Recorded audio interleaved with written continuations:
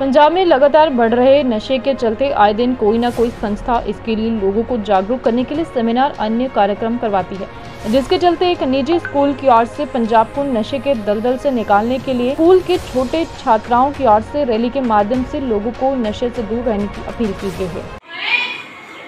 आज का जो ये रेस करवाई गई है उसके बारे में बता दीजिए और आपका नाम से शुरू करना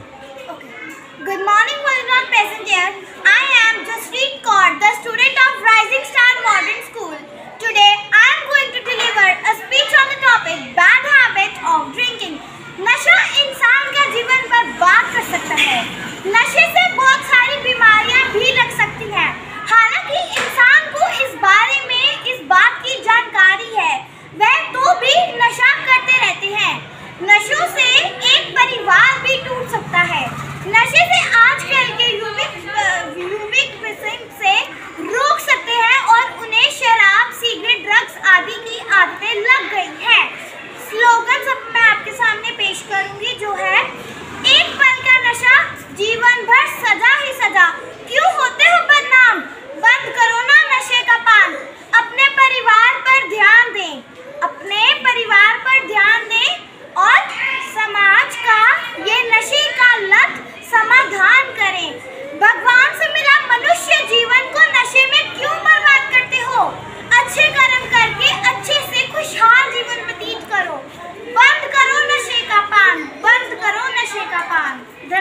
क्या कहना चाहोगे मेरा नाम गरिमा है और ये रैली नशे को मिटाने के लिए निकाली गई है नशे को मिटाना है देश को बचाना है नशे हमारा नशे हमारे ज़िंदगी के लिए बहुत हानिकारक है जितना हम नशे से दूर रहेंगे उतना ही अच्छा रहेगा नशे को मिटाना है देश को बचाना है राइजिंग स्कूल बोलो राइजिंग स्टार स्कूल बोलो बच्चों वालों एक साइकिल रैली नशे के खिलाफ जी है वह क्ढी जा रही है और साढ़े ਪ੍ਰਿੰਸੀਪਲ ਸਾਹਿਬ ਦੀਵਾਨ ਚੰਦ ਜੀ ਸ਼ਰਮਾ ਇਹਨਾਂ ਨੇ ਇਸ ਰੈਲੀ ਦਾ ਅੱਜ ਆਯੋਜਨ ਕੀਤਾ ਔਰ ਅੱਜ ਨਸ਼ਾ ਜੋ ਹੈ ਪੂਰੇ ਪੰਜਾਬ ਦੇ ਵਿੱਚ ਪਠਾਨਕੋਟ ਦੇ ਵਿੱਚ ਬਹੁਤ ਬੁਰੀ ਤਰ੍ਹਾਂ ਫੈਲਿਆ ਹੋਇਆ ਹੈ ਇਹ ਇੱਕ ਸਮਾਜ ਨੂੰ ਜਾਗਰੂਕ ਕਰਨ ਲਈ ਰੈਲੀ ਨਿਕਾਲੀ ਗਈ ਹੈ ਔਰ ਮੈਂ ਕਹਿੰਦਾ ਇਹ ਬੜਾ ਅੱਛਾ ਉਪਰਾਲਾ ਹੈ ਕਿ ਬੱਚੇ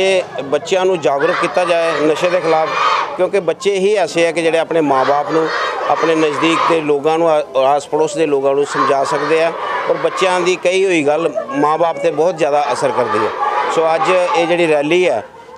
ਇਥੋਂ ਨਿਕਲ ਕੇ ਪੂਰੇ ਪਧਰੋਏ ਦੇ ਵਿੱਚ ਚੱਲ ਕੇ ਅਸੀਂ ਗਲੀਆਂ ਮਹੱਲਿਆਂ ਚੋਂ ਨਿਕਲ ਕੇ ਲੋਕਾਂ ਨੂੰ ਜਾਗਰੂਕ ਕਰ ਰਹੇ ਹਾਂ ਔਰ ਮੈਂ ਚਾਹਨਾ ਕਿ ਇਸ ਇਹੋ ਜਿਹੇ ਜਿਹੜੇ